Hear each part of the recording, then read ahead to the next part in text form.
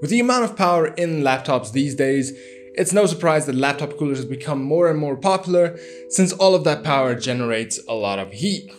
Now the biggest problem with laptops are the fact that all of that power is jammed in such a small space that all of that heat just keeps combining in there and you can't really use any other conventional cooling methods like AIO coolers or water cooling in general unless you actually want to take it apart and thus laptop coolers were born. Now today we're taking a look at the Redragon GCP 500 to see whether or not laptop coolers actually work and to see how you can use them in ways you may not even have thought of. Now there's also a giveaway where you can actually win this laptop cooler. Not this one, this is the review unit, you'll actually be sent a new one. And if you are from South Africa, you can actually enter in this competition, link to that down in the description below. So good luck if you're entered. Now first things first, let's actually take a look at the Redragon GCP 500 to see what you get in the box and how everything actually works. So when you open the box, you will find the actual cooler stand as well as the smartphone holder and the USB cable that you will use to connect the cooler with your laptop.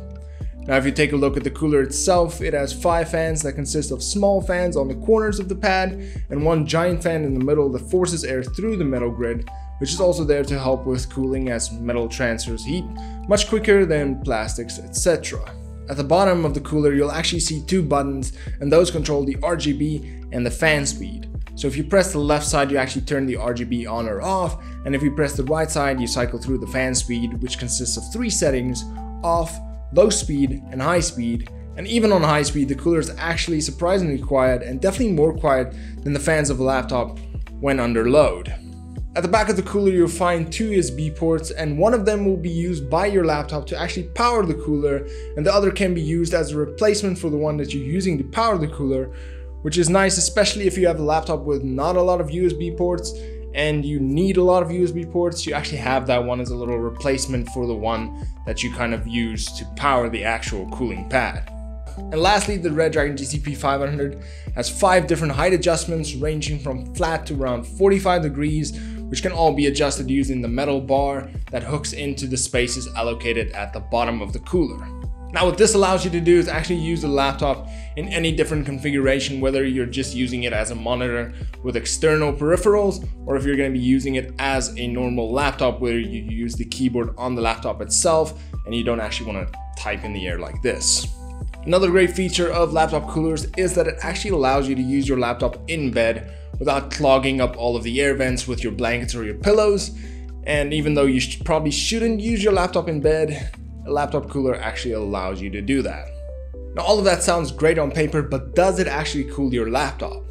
And before we actually get into the test, I'd just like to add that in some cases, laptop coolers does have a negative effect on a laptop and it can actually prohibit airflow to get into the places that it needs to. And thus you can actually be heating your laptop by using a cooling pad and of course, you can still use a cooling pad without actually turning the fans on if you still want to use it in bed or you just want to elevate it or you just want to angle it a little bit more. Then, of course, this could work as a stand as well, but in some cases, it could actually negatively affect the airflow of your laptop. So just bear that in mind. So the results I get could be different from the results you get. Now for the test, I ran a few benchmarks using Heaven to actually see the results of the heat as well as the benchmark scores to see whether or not the cooling pad actually makes a difference in performance and heat. Now the tests actually ranged from completely flat on a wooden table without the cooler, then just the laptop on the cooler without any fans on, all the different heights, and lastly a test with the laptops with the fans maxed on the laptop as well as on the cooler to see the best case scenario and whether or not you actually see a big drastic difference in temperatures when you have the best case scenario. So I've run all the tests and some results were obvious and some not that obvious and let's kind of run through them. So firstly, the results of the laptop just on the table and just on the cooling pad without any fans on were very similar and thus that was kind of the obvious one for me as no fans are on, it's gonna perform the same, it's just a different surface that your laptop's actually resting on. So if you're just gonna be using this as a normal stand, you're not gonna see that much difference in your temperatures, it's just gonna be the way you actually orientate your laptop. As far as the rest of the results, I'll have them all on the screen right now for you to look at the different benchmark scores as well as the different GPU temps to see whether or not the GPU actually got cooler and if it performed better with different scenarios. Now, as far as the results that I got, even though I did see a decrease in GPU temps for all of the tests, I didn't actually see a decrease in CPU temps as no matter how I orientated the laptop and no matter how much fans I turned on and off, the CPU temp always reached 90 degrees max. Now in some cases after the test, the ambient temperature of the CPU was a little lower with the fans on, but it still spiked to 90, 89 no matter what I did and for that reason I have to say that this cooler didn't actually cool my CPU even though it did make quite a big difference on the GPU temps. So as a final thought, is laptop coolers really worth it? And in my experience, I'm gonna say yes. I've always used laptop coolers. I've never had a laptop and not used one, and I've never had a bad experience with a laptop cooler where I actually increased the heat of my laptop. And I've used it with three or four different laptops, and they've all worked perfectly fine. And in general, everyday use, laptop coolers can actually help you keep down your ambient temperatures if you're just gonna be working or gaming.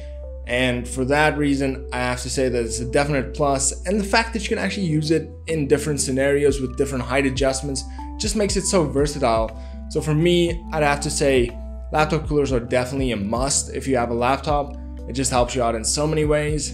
And if you want to pick up a laptop cooler, the Redragon GCP 500 is amazing. I use it for about a week now and it's really good. I've enjoyed every single bit of it. And the fact that you have a smartphone holder seems like something that's not major, but having your phone elevated on the side was kind of a cool thing and I really enjoyed that. As far as the Redragon GCP 500 goes, it's an amazing laptop cooler. I loved all the height adjustments that you get from it. It feels really stable, it feels really sturdy. It's also not that heavy, which is quite a big deal, especially if you're gonna have to be carrying that around in your laptop bag or in a backpack. It's definitely gonna help a lot not to have that much weight, especially if you have a heavy gaming laptop. All of that weight kind of adds up and it could turn into one heavy bag. And that is it for today's video. I hope you guys enjoyed. And if you did, please leave a like and subscribe.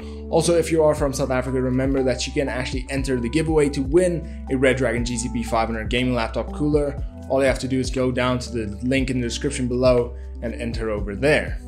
Now, if you have any questions regarding this product or any other product that I've done, leave a question down in the comment section below or head over to all of my other social media platforms and ask me over there. I love to get back to you guys and answer all of your questions. And until next time, cheers.